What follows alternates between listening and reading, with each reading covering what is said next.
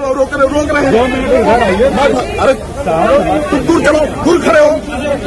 दूर खड़े हो तो बताए दूर खड़े हो। थोड़ा पीछे आता है नहीं? कैसी बात करें? माने भारत में रह के भगवा का अपमान?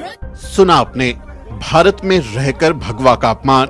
ये भाषा है एक भगवाधारी की जो सरेआम पुलिस वालों को धमका रहा है।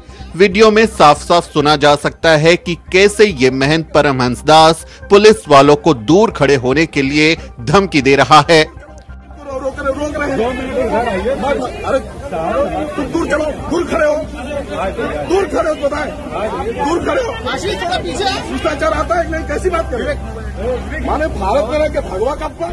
यूपी में योगी का राज है और भगवाधारी शायद खुद को कानून से भी ऊपर मानने लगे हैं। तभी तो पुलिस वालों को ही धमका दे रहे हैं। पूरा मामला क्या है, वो भी समझ लीजिए। दरअसल लखनऊ के लुलू मॉल पर चल रहा विवाद बढ़ता ही जा रहा है। लुलू मॉल में नमाज़ पढ़ने के बाद से ही हिंदू संगठन हल्ला मचा रहे हैं। इसी सिलसिले में महंत परमहंस दास आचार्य लुलू मॉल पहुँचे थे। उन्होंने ऐलान किया था कि हिंदू राष्ट्र की मांग को लेकर वो लुलू मॉल में बाल्टी में जल समाधि लेंगे। जी हाँ आपने सही सुना। बाल्टी में जल समाधि लेने की तैयारी थी, लेकिन वहाँ पुलिस पहुँच गई और जब पुलिस ने उन्हें रोका तो वो पुलिस से ही भिड़ गए। महंत ने ज़्यादा बवाल काटा तो यूपी पुलिस ने उन्हें हिरासत में ले लिया।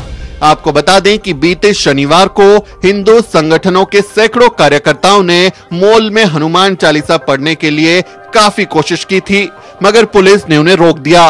इसके बाद हिंदू संगठन कार्यकर्ताओं ने लुलू मॉल में जबरन घुसने की कोशिश की। इस दौरान पुलिस और हिंदू संगठन के कार्यकर्ताओं में तीखी नोकझोंक हुई थी। राजधानी लखनऊ के लुलू मॉल का 11 जुलाई को मुख्यमंत्री योगी आदित्यनाथ ने ही उद्घाटन किया था। लेकिन योगी आदित्यनाथ ने जिस मॉल का उद्घाटन किया था, उसको लेकर उन्हीं के समर्थक और बीजेपी के भक्त भिड़ गए हैं।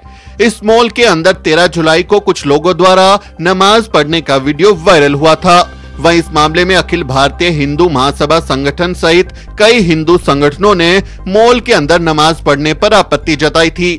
ऐसे में लुलू मॉल में नमाज़ अदा करने के मामले को हिंदू संगठनों ने बड़ा मुद्दा बना लिया। वहीं मामला बिगड़ता देख मॉल प्रशासन ने नमाज़ पढ़ने वालों के खिलाफ एफआईआर भी दर्ज करवाई थी। लेकिन हिंदू संगठन अभी भी इस मामले को तूल दे रहे हैं।